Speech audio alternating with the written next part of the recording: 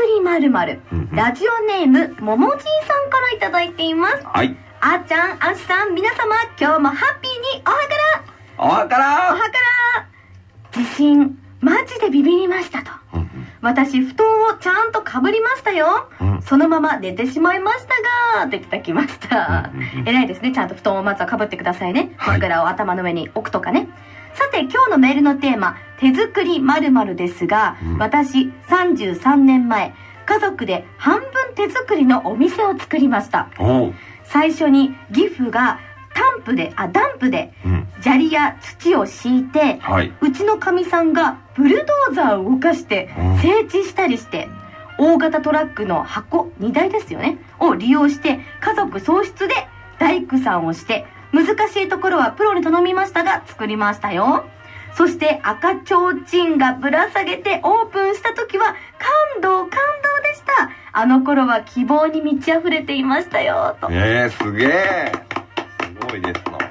うわーこれは本当に家族でお店を作ったうん本当に手作りまるまるですね。そうですね。すごい。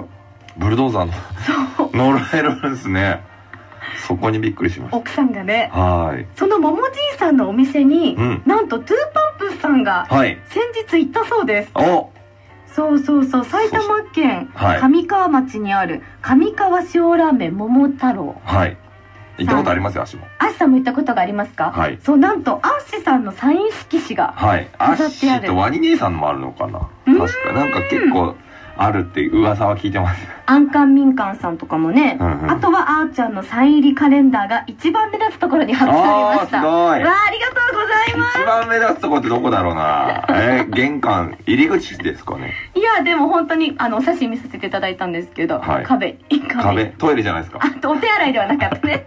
やっぱカレンダーとかってなんかトイレの貼られるイメージがあるから。まあね、お手洗いにはね、こうあるとね、まあ見ちゃいますけどね。まあそうではなく、アッシさんとかのサインの横に、なるほど。ありがとうございます。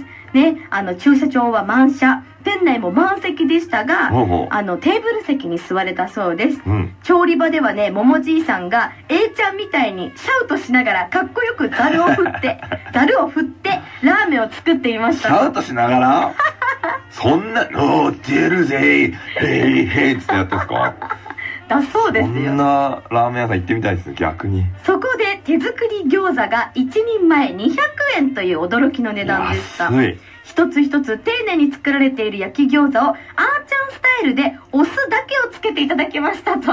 へえ。そう、あーちゃんはね、はいお酢だけなんですよね。お酢だけ？そう、あとはちょっと胡椒とか入れて、酢胡椒とかにするとね大好きなんですね。パリパリの皮、中はジューシー、食べただけでハッピーになりましたと。ぜひ皆さん行ってみてくださいと。素晴らしい。これリスナー同士のつながりですよ、アシさん。そうですね。ぜひ、太っちょさんとかも誘ってあげてくださいよ。今日何回太っちょさん出すんですか？ねえ、じゃあ